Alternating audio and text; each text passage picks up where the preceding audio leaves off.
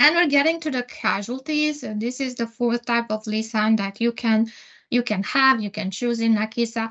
It is really meant for a sudden, unexpected, or unusual loss or damage to the lease asset that will uh, will imply the retirement of the asset. So you you cannot use it anymore. Something happened. There was like uh, like an accident or something else that that really de, uh, devalued uh, your asset to the point that you have no other choice but to retire it. And with that in mind, so the you have this unexpected event, and that will lead you to uh, to trigger to create a casualty event in Nakisa. Uh, you will see that the flow is different from what we've seen before from the other term. I'm sure in a lot of situation, I'm not telling you anything new here. It's more just to uh, just to have the things in the right order to make you more aware of the workflow. And once you perform the, the casualty, you will need to have uh, to post some um, some of the remaining transactions, and afterwards you will be able to uh, to close it. Of course, here as you have this unexpected event, you don't have a way of selecting those contracts in Nakisa. So uh, because there's nothing special about them. There's a, uh, there's no particular term or there's no uh, likelihood of ending for those contracts. So you need to to um, to choose them uh, either from a particular company will probably have some details. Uh, either you have the asset number or maybe the company. So you will have to uh, to drill down within the uh, business objects that uh, you have set up in Nakisa in order to find the contracts that will be targeted for uh, for a casualty event. So in uh, the event of a casualty, of course, the, uh, the idea is that you will have all the periodic postings uh, made up to, to the current period, that is the open period. Mm, was there a question or some background noise? It's okay, moving on. Yeah, no, no, no questions, Kata. Okay, thank you so much. So for the casualty, uh, the likelihood of this event will happen in, in a period you have no control over it, but you have no choice of applying it. So uh, then you will go to your open period in this uh, in this case that I'm showing right here, a test case that I made. We have a casualty to be performed in January 2023. So as you can see, all the postings are made up to the end of December 2022, and then you will be able to apply the casualty. You get this little note in yellow on the top of the window saying that the action will be performed for all units in the activation group. As you know, as you are targeting a specific unit, a specific asset, you can do the split before getting into the casualty. So you will enter the payment date, which will be your effective date. So pretty much the date of, of, your open period, the current period that you intend to have the casualty applied on. And the system is going to automatically bring up the main casualty amount. So what you're seeing now on the screen the casualty amount are in fact the remaining unpaid interest at the time. So this is the minimum that the system will allow you to enter. However, if you have additional payments to, to made in relation to your casualty, like if you have a statement from your insurance company or something else, you can you can add to this amount to the unpaid interest. You can add the amount that you want to uh, to recognize. And once you do that, you will have your casualty. We will go through that in a, in a couple of minutes uh, and we will see the demo live. Once you do that, once you apply the casualty, you will see the activation group status will change directly to uh, to lease end. So this is very different from all the other cases that we've seen where you have these two steps closing where you perform the lease end, you perform the closing. Now with the uh, with the casualty, once you perform the casualty, the activation group goes directly into lease end. And this is the status that late uh, status that later on you can track into your activation group.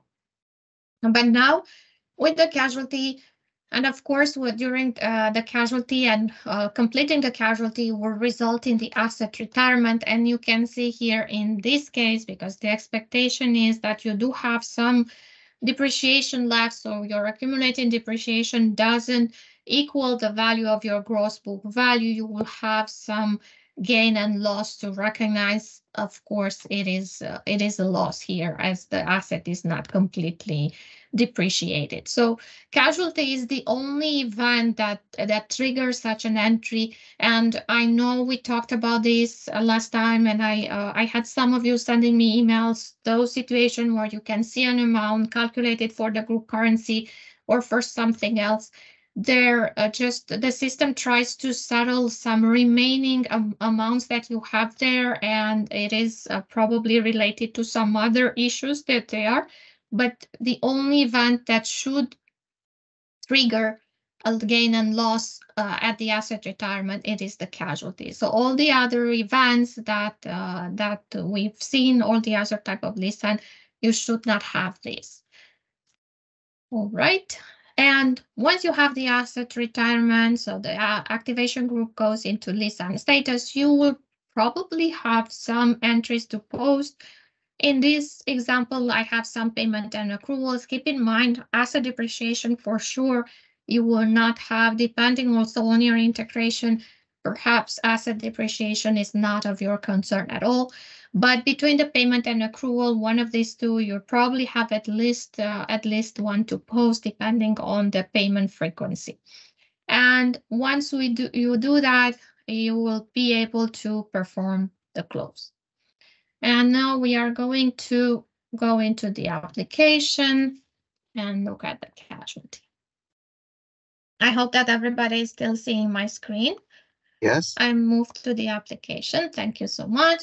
And I have here a case already prepared. As you can see, the activation group status is active. My list is not available. And I just want to show you in the postings that I have already accounted for the periodic transaction up to uh, up to the current period. So my open period is April 2023 and as I intend to have the casualty in this period, but let's say I received the notice from uh, from some other department, there was an accident, I need to perform the casualty, I need to retire this asset. And I do have double reporting here, and I have posting base for both of the standards that I'm reporting into for this contract for this company. But I just wanted to show you that my open period is April. So I'm coming back to my contract. The activation group is an event that is uh, started at the activation group level. So from the main menu, I will click on casualty here. I will choose casualty. And I have this little window and once again, the note about uh, the action will be performed on all the units. In this case, I have one asset uh, that uh, is within the unit that uh, relates to the activation group. So I don't need to do any split. But if you have more than one unit in your uh, unit in your activation group, you can perform the split beforehand. Now my payment date, uh, I can choose it from here. And as you can see, and I cannot go back to the previous month because I posted all my entries. So I am uh, I have only April to be posted. I can go in the future in this particular instance, and I can do that because I haven't blocked, I haven't set up the, the system controls. However, once I do that and I, I have my draft and I want to send to assessment, I will get another error message. The system is going to tell me that I have some unposted uh, depreciation for the particular asset and I need to go back and post it. So in this case, I'm going to go ahead and choose my April as I know that I have posted everything up to April. So my first payment date that it's going to also be my effective date is 1st of April. I do have the choice of modifying the contract rate. I have it here. I can do that if it's per uh, per the policy for inter uh, based on the internal procedure. I, I don't want to do that for this particular example, but keep in mind you have the options. And for contract that uh, have the IBR, as you know, you will get uh, the message when you send to assessment. Now we have here the main casualty amount and we have two fields because I have uh, dual reporting for this particular contract. Depending on your situation, if you only uh, report under one standard, you are only going to see one field. If you have more than two, you are going to see as many fields as standards you have. Of course, I can enter a description here. I can put something uh, this is something for tracking purposes if I need to. And as I was saying, I cannot modify the amount here to be lower than uh, than the 26. If I do that and I click submit, I will get an error message. The system is going to tell me that I absolutely have to have at least 2618 because this is my um, paid amount. However, I can put more than the 26. I can go ahead and put something like 36. The system will allow me. This will be, as I was mentioning, if you ever have some, some different payable amount related to your casualty. And as I'm clicking submit here, like any other event in Nakisa, the system is going to prepare a draft for me to work into so I can check uh, what is the system adding to this contract. I can check the schedules. I can go through the through the flow. So as you can see, I have a nice purple additional tab and I can see I'm in the draft version and I'm still at the activation group level. And if I click on terms and condition, I'm going to see my casualty term that the system added by itself.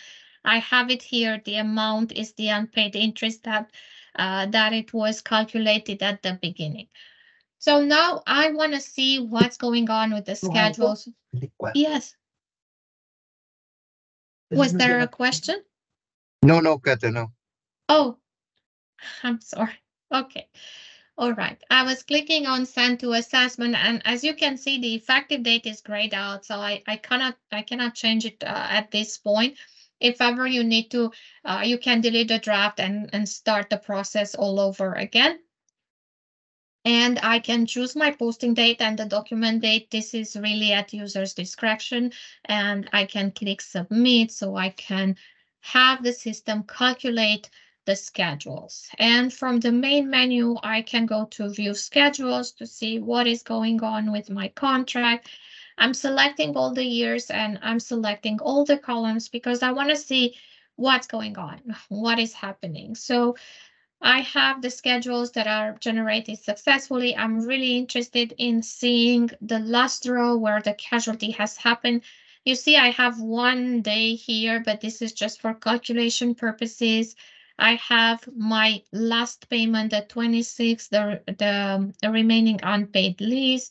As I'm scrolling to my right, I can see that the 26 is coming from the unpaid interest expense. So my uh, my accrued interest that I'm going to settle at this line. And I really want to know what is happening to the liability and uh, to the gross book value. So the liability is completely put to zero. Whatever remaining liability is this zero is going to be settled. So I have the delta here on the liability side. And then on the asset, we're reversing the gross book value, and we can also see the reversing of the accumulated depreciation in such a way that my net book value at the end on this line where I'm applying the casualty is zero. I'm happy with uh, with the way schedules have turned out. You can always check the other standard as well. It's going to be similar. So we can go ahead and approve the draft. And now we're going to the uh, to the workflow. And at this point, like with any other draft, I'm completing the remeasurement and I will be able to see the resulting entries and also the change in status. As you remember, as I told you with the casualty, you will see that the activation group goes directly to lease end. So this is this is different from all the other cases that we've been through. So now we can check really quickly the resulting entries. We have the adjustments both for the liability and we also have the asset retirement. And on the asset retirement, as I was mentioning, and you can see once again, you already have the retirement of the asset here at this stage. This is very different from the other type of cases that we've seen where the asset retirement happens with a close step, not, uh, not before. But this is really what we call an asset-driven event. We start everything from the asset side, and then we're moving on to clearing all the other balances. So here is on the liability, pretty much we put the liability uh, to zero and uh, as you've seen before, the asset retirement with a P&L impact, a loss in this case. So now I want to move on to the close, but as you can see, my close button is not yet enabled. So this is because I probably have some postings left. Now I'm going to go really quickly to finish up this. It's going to take me a few seconds. As you can see, there's no depreciation left. That's normal. I retire my asset, but I do have some uh, payment and accrual. And let me book this really quickly. I do have two standards, so I have to be extra quickly. I did it for the first standard, and I can move to my second one to finish this one. So I have my payment here. And I also have my accrual. That's it. And I posted the accrual as well. Everything is posted right now. So I can close the posting here. I can give a quick refresh and you can see I have the close button that is enabled. So at this point, I can go ahead and click on closing. I won't be able to uh, to go beyond the 17th, the date of today, so I can choose either the 1st of April, that's okay, this is the date that we use for the casualty. As you can see, and as you remember from the other type of lease end, at this stage, the system is pretty much looking for any remaining balances on the liability as we have here, the long-term, the short-term, and the accrued interest. If ever there's something remaining with some rounding that we need to settle, we will be doing this at this step. So everything is up to zero. I can click submit. And at this step, I have closed my uh, my activation group in and also because it's one activation group in the contract, the contract is closed itself as well. As you know, if you have several activation group, the contract will not be closed. You will only have that for the activation group.